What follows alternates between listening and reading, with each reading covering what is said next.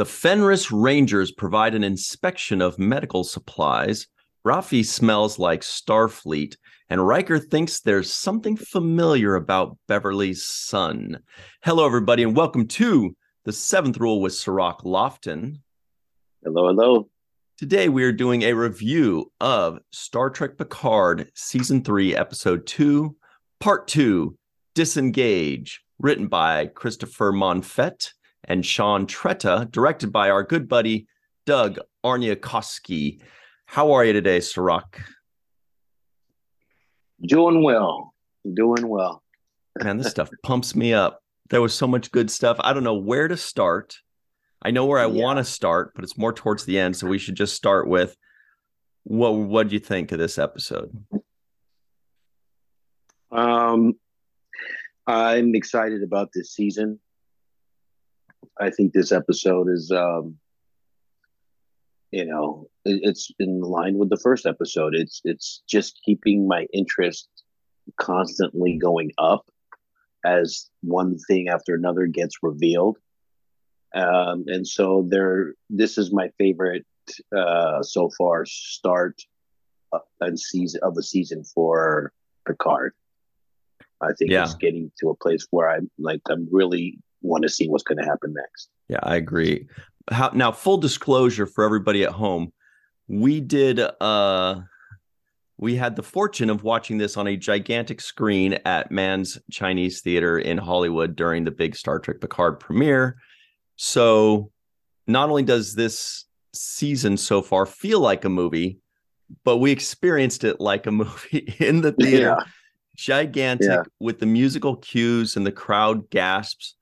And just for a second, can we talk about the reactions from the crowd, from the audience? Because that's what that was moving me as much as watching the episode was, was experiencing it with all our fellow, you know, friends and Star Trek fans and the cast that were, you know, right next to us. Uh, we had uh, Michael Dorn and Jonathan Frakes, Jeri Ryan, uh, Patrick Stewart, Gates McFadden, uh, LeVar Burton, they were all right next to us. So we got to kind of watch their reactions and listen to the audience reactions. And it just felt so special to me because I was also thinking the people that put in so much time and effort into this stuff, they deserve to hear their flowers just from the gasps and the cheers and the laughter at all the right places. Everybody was reacting the way they should. And that just got to feel so good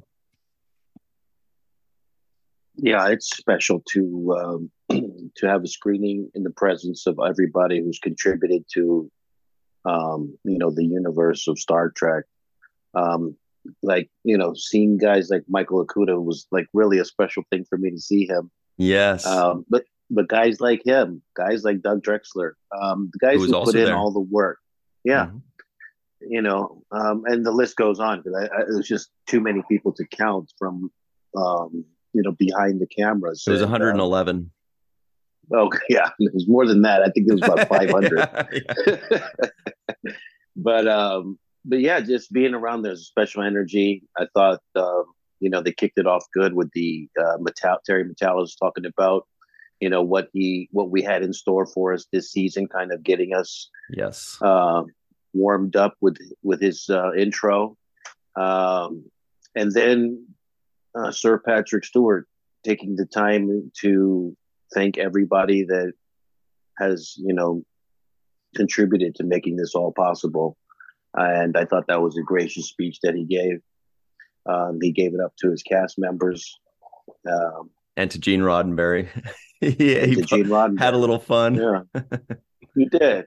But he also mentioned that it was an ensemble, and to me, that was that's one of the gracious things that um, the great captains do is that they allow an ensemble to uh, flourish and it be about all of them.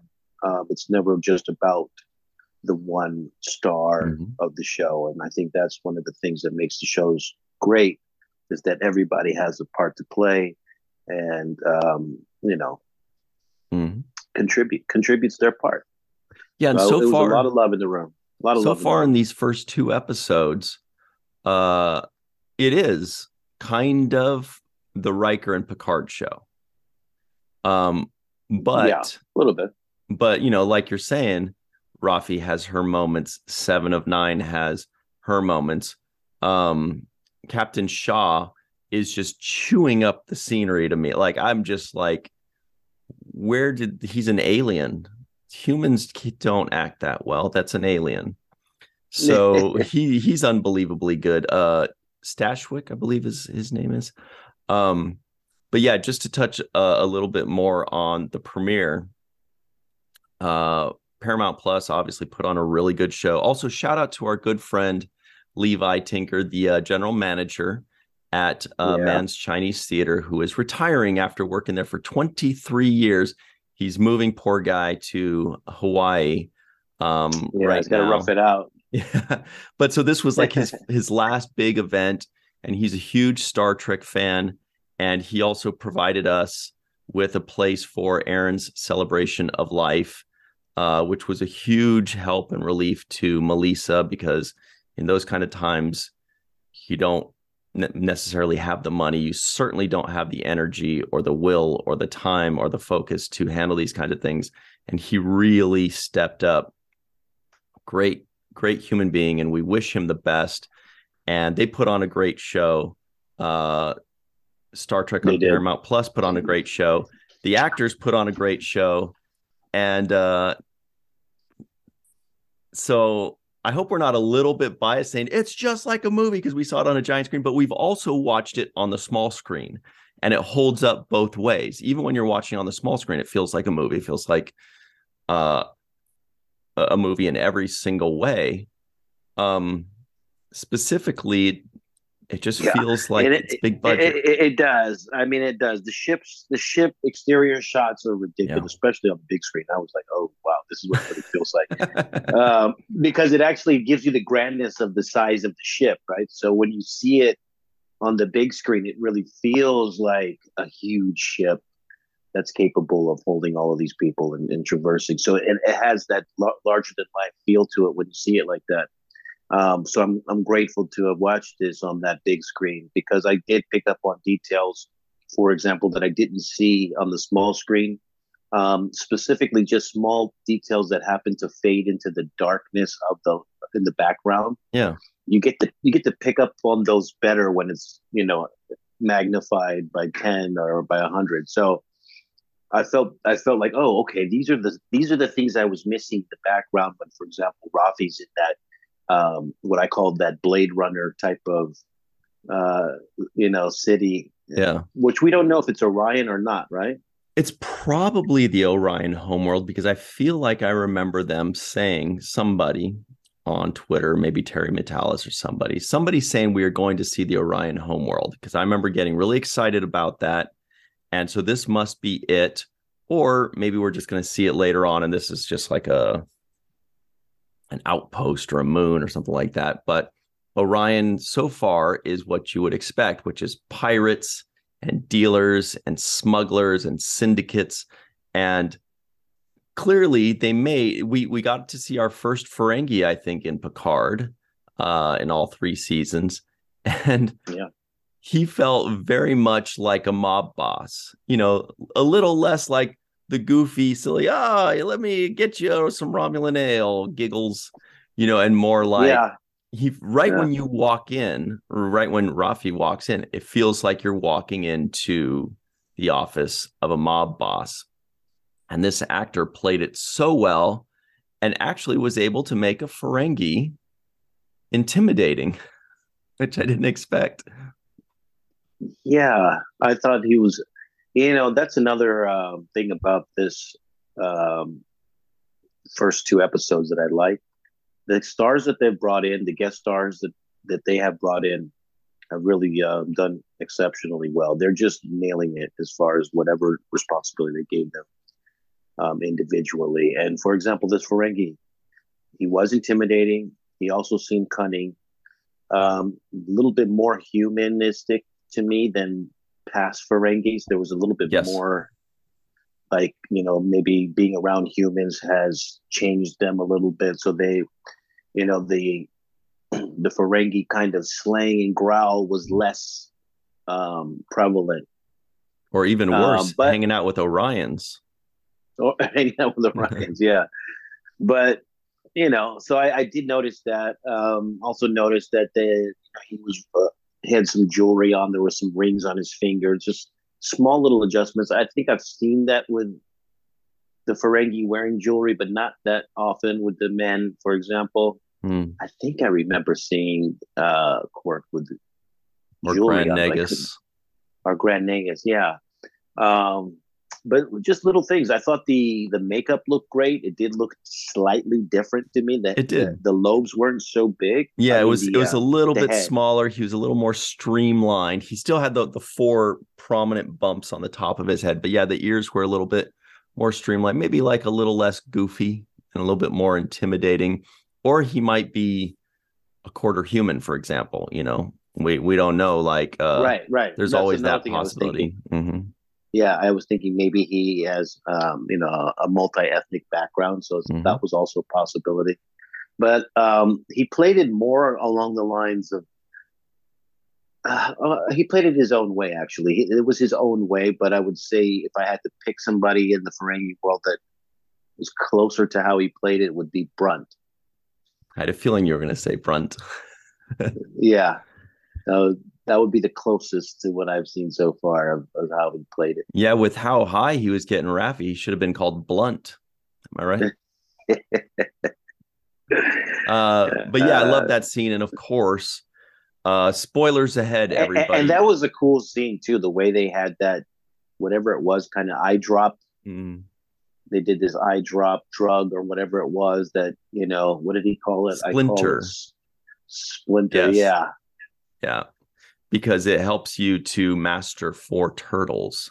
But he was saying, uh, you know, because it says it feels like it's ripping you apart or something like that. But the yeah. major spoiler was how Raffi gets saved. And um, everybody at home, that's your hint right there that if you if you really don't want any Spoiler spoilers, alert. this is your moment to look away or listen away or both. Um One of my favorite moments in this uh in Yeah. this in this episode, this part two for me was It was- moment that you're talking it was a about. perfect it was a perfect reveal. Somebody comes and starts slicing up the bad guys, cuts off his head, and I I think I I leaned over to you. I was like, "Is that Elnor?" because because that's the last Yeah, person right. we saw. I don't know why I didn't think about it. We knew, you know, of course, it's revealed to be Worf. We knew Worf was going to be in this, but it Yeah. was just so fluid and so uh martial artsy, and you know that it samurai like. It felt less like the blunt force that we're used to Worf doing. Um, and it felt more like precision slicing and dicing and speed and fluidity, which is freaking amazing. We all went nuts when we saw that. Yeah. Yeah, and and you know, as I was thinking about it, when you're just describing it, I, I'm wondering if that's the the weapon that uh, that Yeah. the Curry was talking about. It has to be right. Dan Curry, it's got to be the Kurleth. Yeah. Because it was, it was kind of like a close range and slicing uh, more so than like the big blunt force of the bat'leth. Right. Yeah, he was working that thing badass. It just the moment when he walks in, I'm like, oh, here it comes. It's like that, you know, it's like the, the climax of a Bruce Lee movie or a Van Damme movie. You know, Yeah. some ass kicking is, is coming. when when Bruce Lee and Chuck Norris are taking Yeah. off their shirts and they're like, "All right, here we go." I don't remember which movie that is, but there's a great moment there. Uh, but yeah, Yeah. Worf's moment. So now,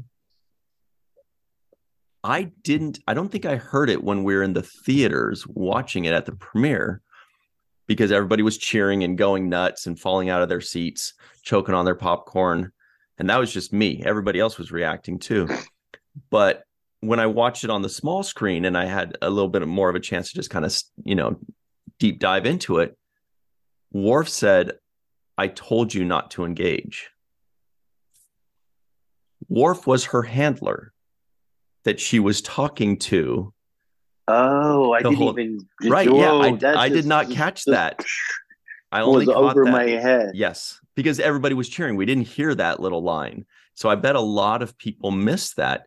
But he said, I told you not to engage, which made me think it's got to be Worf. And they gave us the little the little flip around because they gave like a woman's voice. And I remember thinking that. I remember thinking they're probably going to reveal it to be a male because it's a female voice and they want to kind of hide it. Even still, I did not expect it. Even even with all that and knowing Worf is in the you series, asked me if that was Elnor. You're like, is that Yeah. Elnor? yeah, You Yeah. were dead serious, and I was like, dude, it's Worf. it's got to be Worf.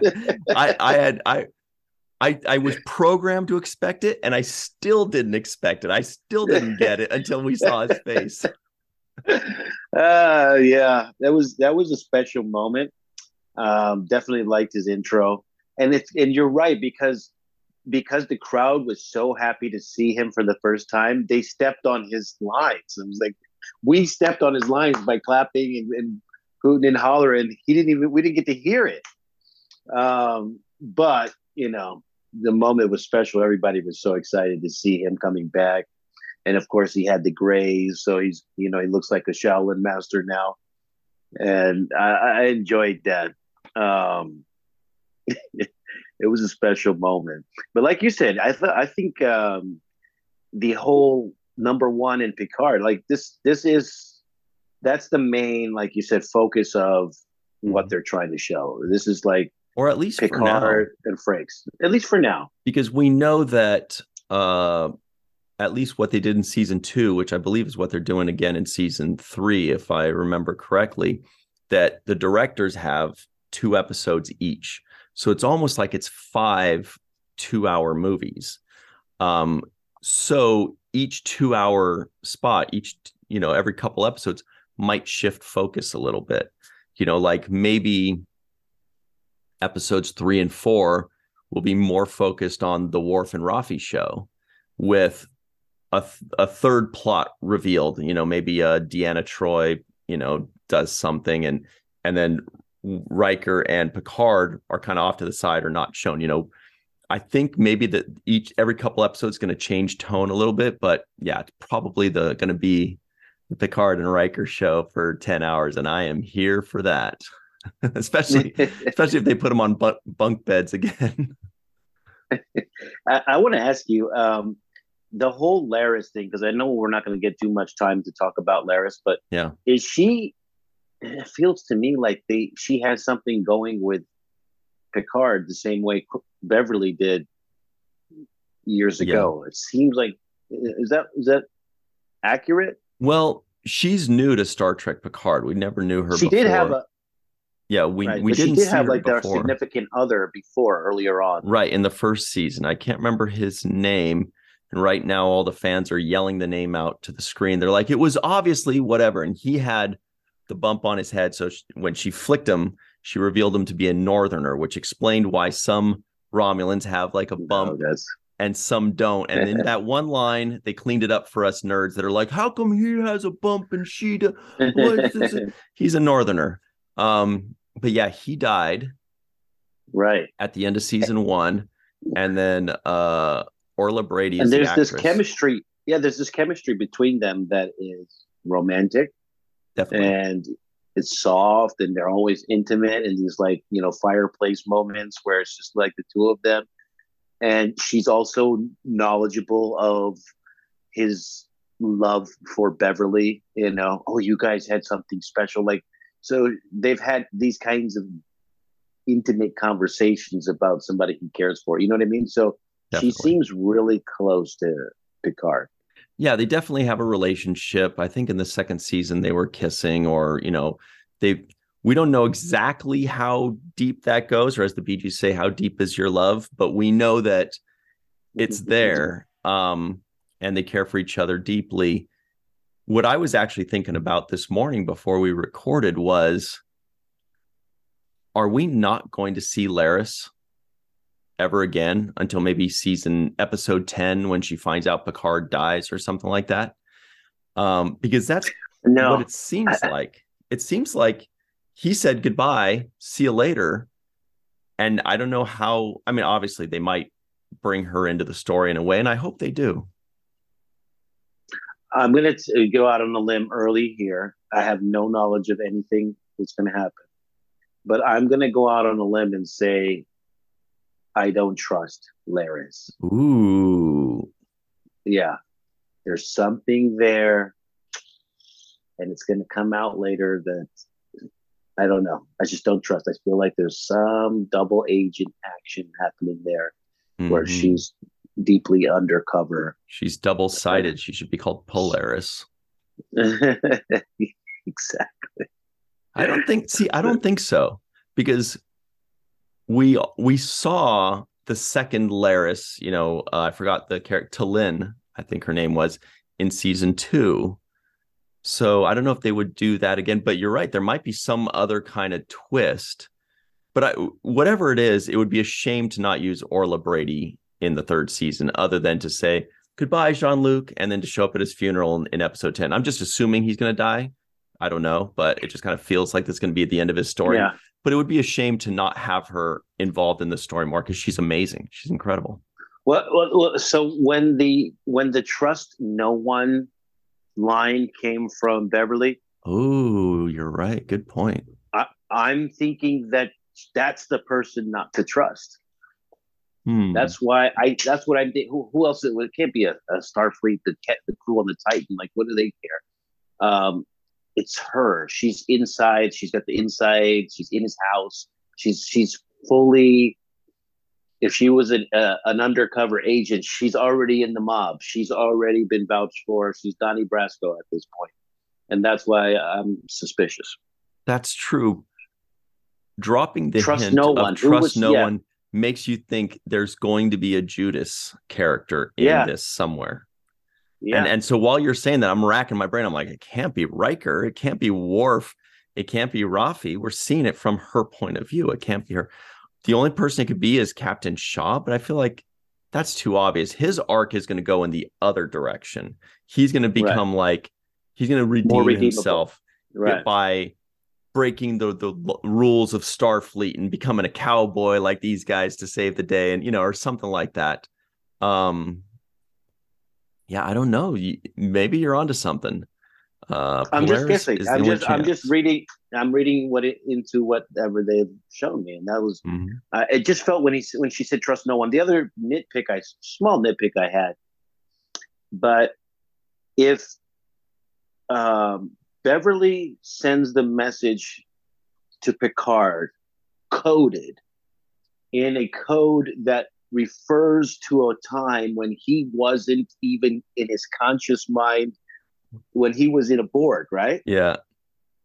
How would he understand what that code was? It did take Frakes. It took number his number one to decipher that, right? Right. So so why would she mention something that he had would would have no knowledge of? That's what I'm saying. Mm-hmm. Yeah, no, he, I get it. He would have he would have to go to an outside source to figure out what the hell that meant. And it wouldn't be Laris. And if it were, we'd be even more suspicious of her. like, how do you know what happened yeah, yeah. in season three of the Next Generation, Laris? Yeah, you were in Ireland. That's what I'm saying. So I, I, was a little bit curious of why that would be the case. If, if he has no knowledge of that particular thing, why would be why would that be encoded in the message? Do you know what I mean? It would be yeah. You know the one question I had that felt a little bit like a nitpick, but then I kind of understood it was when they are going to give away Captain Picard's spoiler son. Yeah. Uh they're they're going to give him away, but as soon as Picard says, "That's my son," they say, "Okay, let's not do it. Let's sac- sacrifice 500 lives." Because Captain Shaw says, "I will not sacrifice 500 lives for some guy." right? He says, That's my son. Mm-hmm. Okay, then I will sacrifice 500 lives. Okay. So, you know, logically speaking, that that doesn't make any sense. But the answer obviously is human nature. That's just how that's how humans are. Suddenly, because we all felt the same way. We're all like, now you really can't. That's Picard's son. It's just kind of like that's just the way people work. Um, that's why people like uh, Seven of Nine roll their eyes at us, even though she's human. But you know, if Data were here, he would say, "Curious, Captain, why is one shut up, Data?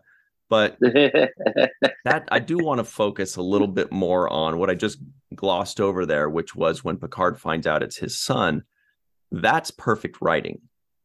Not a word was said. She walks in, uh, Beverly Crusher. She looks at him. He looks at her.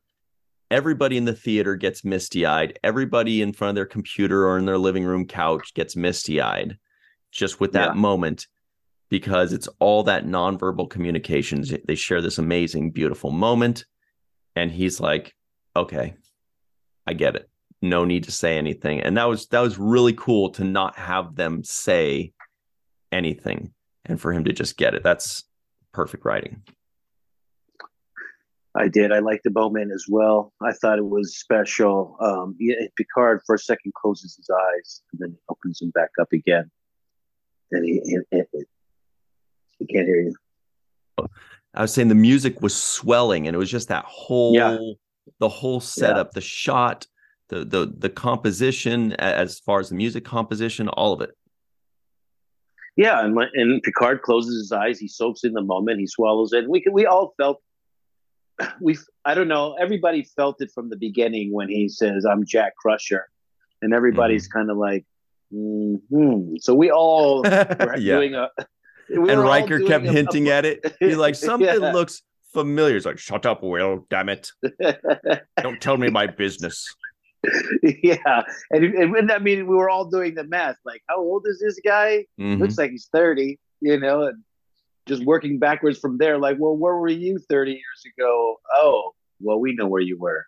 Yeah. Um, and, and it, was, it felt great, actually. I did like um, the writing yeah. for that was great. And the actor who um, played Jack Crusher, um, Ed Speleers, I thought he did a great job. Absolutely. And we met we met him at the premiere and we we you know pounced on him and were and yeah. regurgitated a whole bunch of uh, compliments his way uh, and told him how amazing he was. And the best part was that we didn't, we weren't lying. He was, he's very good. He's, you're, you're right in that all of the additional actors that they brought in, uh, the guy that plays Jack Crusher, Captain Shaw, you know, Speleers, Stashwick, the lady that plays uh, Vadic, I believe her name is Captain Vadic. Um, mm-hmm. God, so much great stuff with that. The shots of her with the cigar smoke kind of swirling in, that was mind-blowingly good cinematography. I it was beautiful. It was gorgeous. It gave us just a, a, enough peaks of her face to get more interested.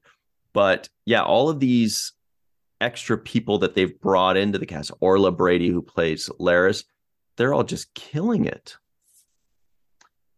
and uh, I mean, I want to harp on this uh, Jack Crusher guy. What yeah. what it is that he does, the notes that he hits.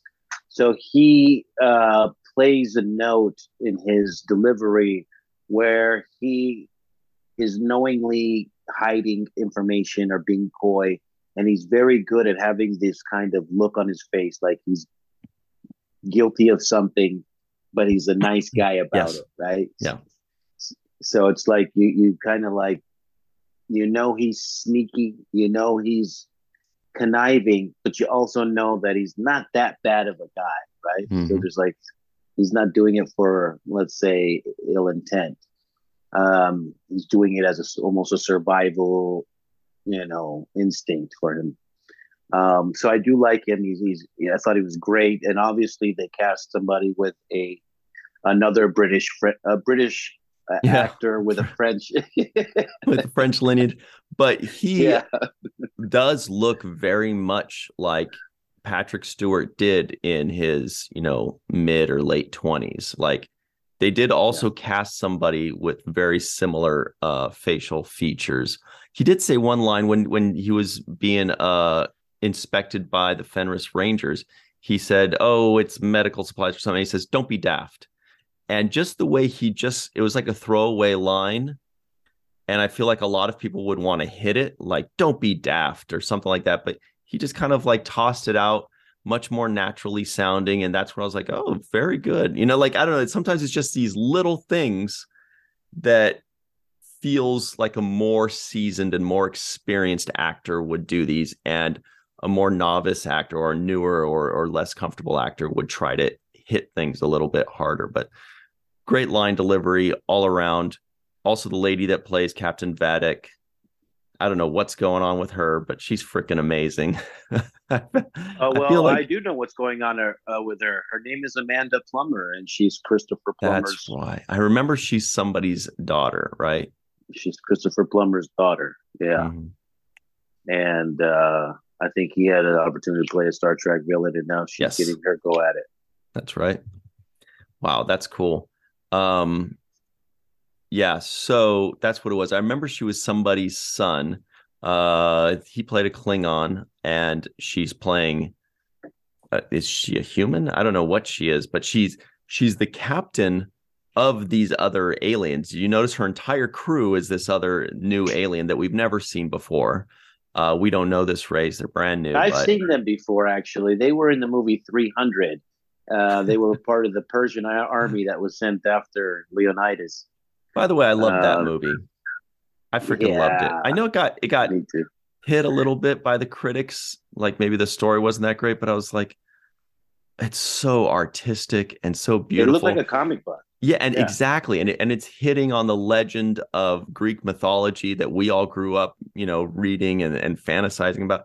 Anyway, not to talk too much about that, but good knowledge with the 300. Love that movie. But you remember those monkey face kind of yeah. uh, you know, fighters that were sent. And that kind of reminded me of the the ones that we saw going after uh, Beverly at the beginning. Uh, mm They mm-hmm. kind of had that face. Um, of course, we don't know what kind of alien race they are, but that's what I they hope, reminded me of. I hope we get to know more about them because I'm a nerd for that kind of stuff. Oh, by the way, check this out. This was our old. It's a little wrinkled because it was sitting in my pocket that whole night, but there it is. This was uh, everybody in there. Yep, everybody's in there. It's a great night. Um, oh, oh, you know what? I, I was a little bit disappointed because Michelle Hurd's scene uh, lost audio during the playback. Right. When we're in, in the theater um, for about 15, 20 seconds. seconds. Yeah. yeah uncomfortably long. Like it, it, it, felt longer yeah. than it probably was, you know, but right. we missed a part of her scene. Luckily, when the sound came back on was bef- right before she was going to have her big dramatic and emotional moment. I, I believe it was with her ex husband. Um, yeah. So you know, luckily we didn't miss the the big acting moment, but it was kind of a shame. Uh, and of course, people started, especially for the actor who plays her husband. Or that's his only whatever. scene. You're right. Like that's his scene. He's in the crowd. He's like he's at the premiere. He's, he's like, got his family and family. friends. He's like, this is my moment.